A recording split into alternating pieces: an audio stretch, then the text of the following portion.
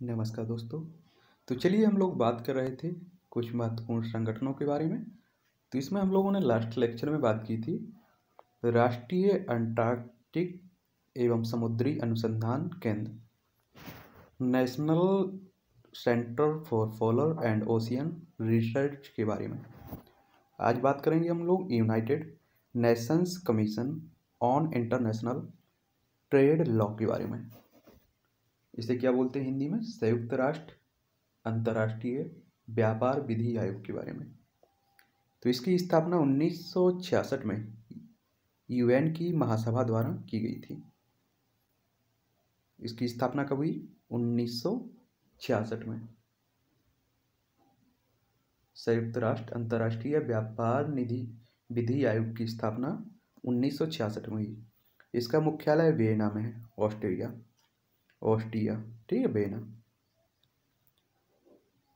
संगठन के सदस्यों का निर्वाचन छः साल के लिए हर तीन साल पर समाप्त होता है।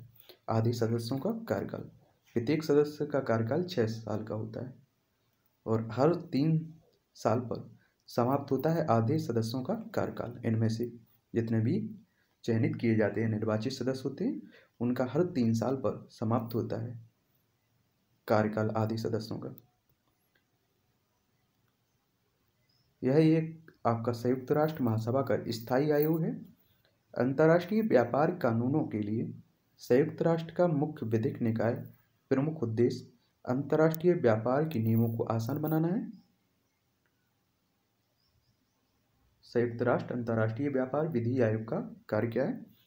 अंतर्राष्ट्रीय व्यापार के नियमों को आसान बनाना। सदस्यता सार्वभौमिक एवं भारत इसका संस्थापक सदस्य है।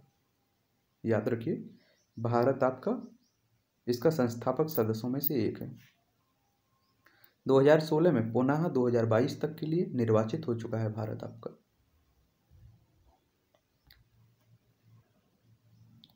देशों के राष्ट्रीय नियम, अंतर्राष्ट्रीय व्यापार में बाधक ना बने, इसका प्रयास करना प्रमुख कार्य है। अनसेटरल एवं डब्ल्यू के मध्य तुलना, यानी कि संयुक्त राष्ट्र, अंतर्राष्ट्रीय व्यापार विधि आयोग और डब्ल्यू के मध्य तुलना। United Nations Commission on International Trade Law और डब्ल्यू वर्ल्ड ट्रेड ऑर्गेनाइजेशन द्वारा देखे जाते हैं अलग अलग मुद्दे। ठीक है, दोनों के अलग अलग मुद्दे हैं। डब्ल्यू जहाँ व्यापार नीति से संबंधित मुद्दों, जैसे व्यापार, उदारीकरण, व्यापार अवरोधों की समाप्ति या अनुसूचित व्यापार अभ्यासों से निपटना है, वहीं अन United Nations Commission on International Trade Law, अंतर्राष्ट्रीय लेन देन में निजी दलों, प्राइवेट पार्टीज़ पर लागू होने वाले कानूनों को देखता है।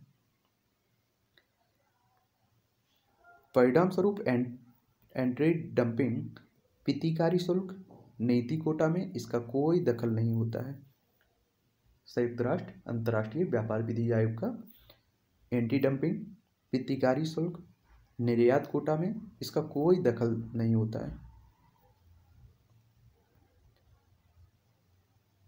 United Nations Commission on International Trade Law एवं सतत विकास लक्ष्य। संयुक्त राष्ट्र, अंतर्राष्ट्रीय व्यापार विधि आयोग, सतत विकास लक्ष्यों की सर, लक्ष्य संख्या एक, चार, पाँच, आठ, नौ, दस, बारह, सोलह, सत्रह को प्राप्त करने की दिशा में योगदान देता है।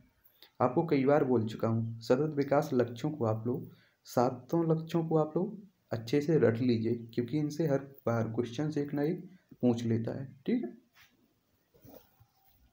तो ये था आपका संयुक्त राष्ट्र अंतर्राष्ट्रीय व्यापार विधि आयोग या United Nations Commission on International Trade Law आगे हम बात करेंगे इंटरनेशनल एनर्जी एजेंसी के बारे में।